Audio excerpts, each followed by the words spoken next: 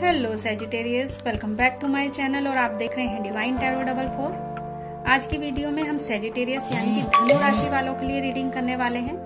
अप्रैल month में Sagittarius का finance उनके लव रिलेशन और उनकी हेल्थ कैसे रहने वाली है। ये एक जनरल रीडिंग है। आपके साथ जितना मैच करता है आप रखिए। बाकी जाने दीजिए। तो आइए वीडियो स्टार्ट करते हैं।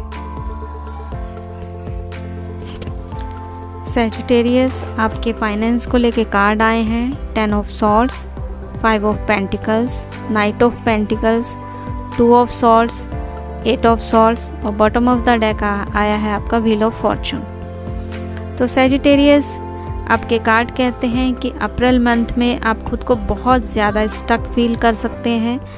आप अपने काम में इम्प्रूवमेंट करना चाहते हैं, लेकिन आप नहीं कर पा रहे हैं।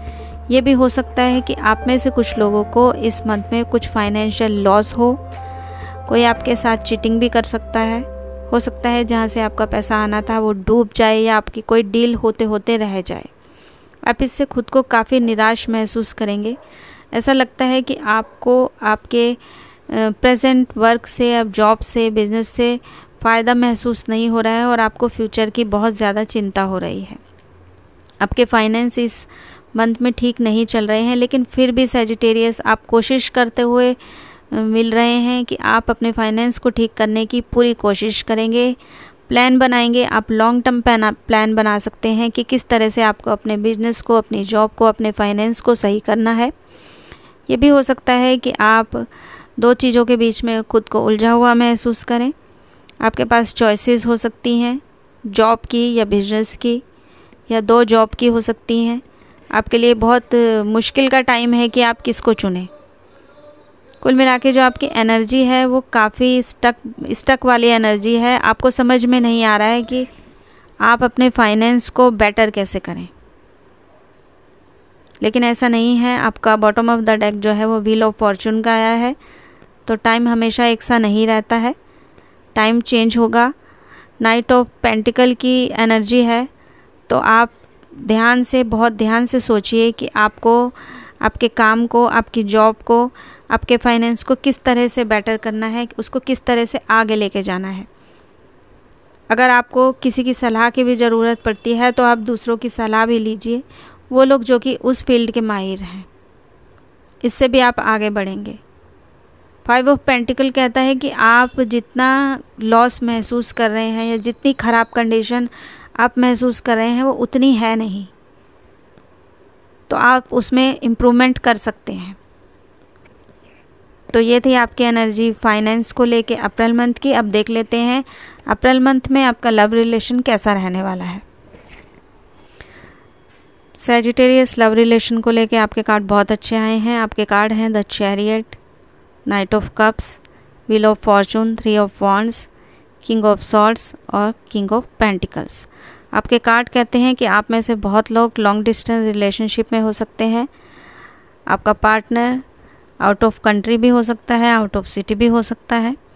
और आपके कार्ड कहते हैं कि आप जिस भी बंदे के साथ में हैं, वो बहुत ज़्यादा रिस्पॉन्सिबल है। आपकी लाइफ को वो आगे लेकर जाएगा, आपको स्टेबिलिटी देगा।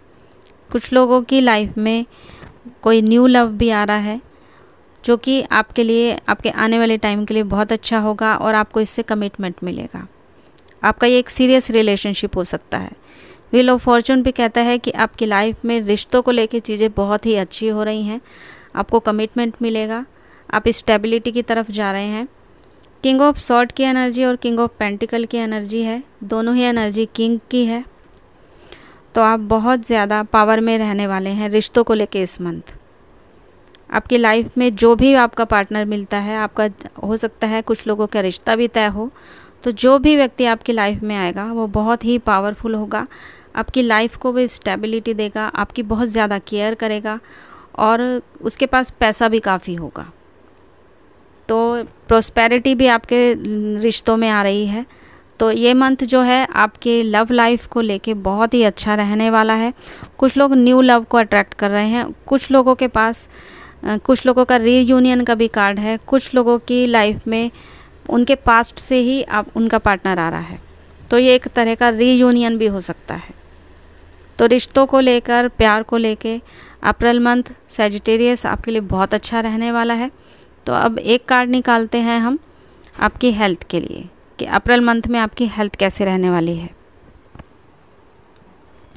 सेजिटेरियस आपकी हेल्थ को लेके कार्ड आए हैं two of swords queen of swords four of pentacles page of cups nine of swords and five of wands Sagittarius इस मंथ आपको अपनी हेल्थ का पूरा ध्यान रखना पड़ेगा, जो कि बता रहे हैं कि आप इस मंथ में बहुत ज़्यादा चिंता में डिप्रेशन में रह सकते हैं।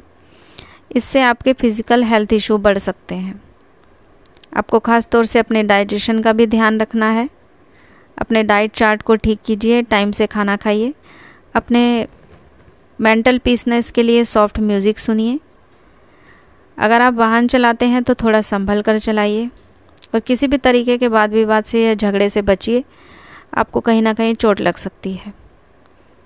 और कुछ लोगों के लिए गुड न्यूज़ भी है। सेडिटेरियस आप में से कुछ लोगों को गुड न्यूज़ मिल सकता है। आप प्रेग्नेंट भी हो सकते हैं। तो ये थी आपकी अप्रैल मंथ की रीडिंग आई होप आपको पसंद आई होगी। हम फिर मिलते हैं नेक्स्ट वीडियो में। तब तक के लिए take care thank you so much